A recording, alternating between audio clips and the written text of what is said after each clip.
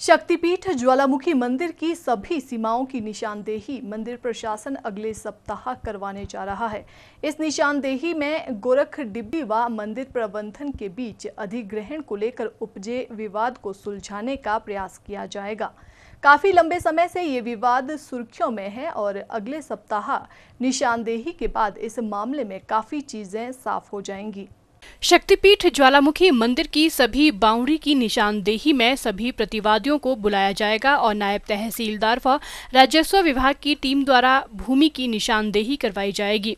निशानदेही होने पर ही ये ज्ञात हो पाएगा कि गोरख डिब्बे ने जो नव निर्माण करवाया है, क्या वे उन्होंने अपनी भूमि पर किया है या मंदिर ज्वालामुखी की भूमि पर?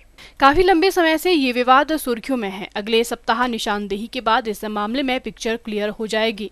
गौरतलब है कि गोरख डिब्बी द्वारा तीन मंजिला नवनिर्माण करवाया जा रहा है, जिसको लेकर मंदिर ट्रस्ट, पुजारी वर्ग व विधायक रमेश ध्वाला ने कड़ा ऐतराज जताया था। इसके बाद निशानदेही की तारीख तय की गई, पर गोरख डिब्बी प्रबंधन द्वारा स्वास्थ्य संबंधी पत्र प्रस्तुत कर निशानदेही को आगे बढ़ा दिया गया। अब इस निशानदेही के लिए अगले सप्ताह के शुक्रवार व शनिवार के दिन को सुनिश्चित किया गया है।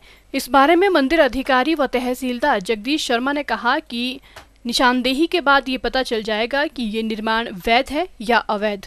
उन्होंने कहा कि यदि मौसम साफ़ रहा तो आगामी सप्ताह में शुक्रवार व शनिवार को निशानदेही करवा दी जाएगी। अवैध है या ट्रस्ट की भूमि पे है, वो तो निशानदेही के बाद ही पता लग पाएगा। तो फ़िलहाल जैसा मैंने पहले बताया था कि हमने निशानदेही के लिए अप्लाई किया हुआ है। और इस निशानदेही के लिए हमने नायब तहसीलदार साहब से प्रार्थना की है। तो अगले सप्ताह यदि मौसम ठीक रहता है तो शुक्रवार और शनिवार को निशानदेही कर दी जाएगी। परंतु यह इस निशानदेही में बाकी बन्नेदारों को भी शामिल किया गया है।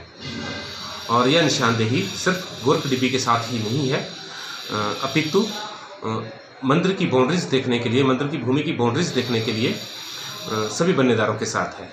सिटी चैनल के लिए ज्वालामुखी से पंकज शर्मा की रिपोर्ट।